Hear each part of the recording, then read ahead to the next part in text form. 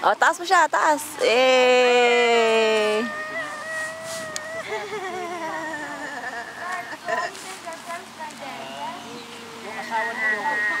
Yung